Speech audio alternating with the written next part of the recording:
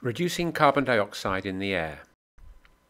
The Earth's atmosphere today has a concentration of carbon dioxide nearly 50% higher than just 100 years ago. This has come mainly from our use of fossil fuels and is the cause of climate change. See our linked video. Here we consider two ways to remove some of this carbon dioxide from the atmosphere, plant growth and carbon capture. Plants capture carbon dioxide during photosynthesis. Energy from the sun splits oxygen away from water and carbon dioxide, forming carbohydrates used for respiration and growth. But the carbon that plants take in gets recycled. They respire. They get eaten by animals which respire. And living things die and get absorbed by fungi and bacteria which respire, sending the carbon back into the atmosphere as carbon dioxide. You can learn more on this in our carbon cycle video. We need to find a way to trap the plants before this recycling happens. The Earth's surface is 70% ocean, where we could grow large amounts of photosynthesizing algae. But most of the oceans contain few living things. There's plenty of carbon dioxide, water, salts, and sunlight for photosynthesis and growth.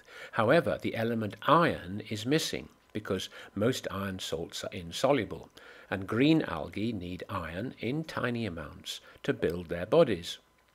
Thus, for each kilogram of soluble iron 2 sulfate we add to the oceans, around 100,000 kilograms of carbon can be fixed, because now the algae have all the minerals they need to grow. Experiments show that about half of the cultivated algae was eaten by sea creatures, so the carbon would eventually be recycled back into the atmosphere. However, the other half sank to the bottom of the ocean and was therefore captured, a bit like the way fossil fuels were formed. Although this seems to be a good idea, we must be careful when we carry out experiments like this on a global scale. Perhaps a safer way of capturing the carbon dioxide we release is simply to pump it into old gas wells, putting the carbon back from where it came. Imagine having a big bag on your exhaust pipe to capture the carbon dioxide. Can you think of what gases there would be in this bag? Pause and think what gases are in car exhaust. You might have thought carbon dioxide but exhaust gas is mostly nitrogen. This is because the air used to burn the petrol is four-fifths nitrogen. Say petrol has this simple formula. It needs three oxygen molecules to react, forming two of steam, which you often see coming out of car exhausts on a cold day, and two of carbon dioxide. But now add four nitrogens for every oxygen, and these go into the car cylinders and come out unchanged, forming the bulk of the exhaust gas.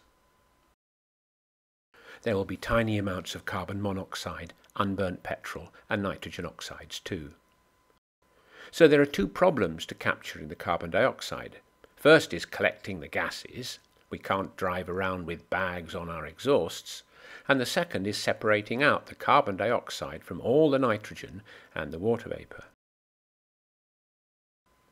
We can solve the first by only trying to capture the carbon from large stationary engines, such as those used in power stations.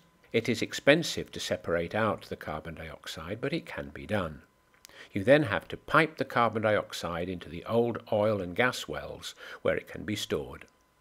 To supply energy for all this means that up to half the electricity you generate may have to be used for the carbon capturing process.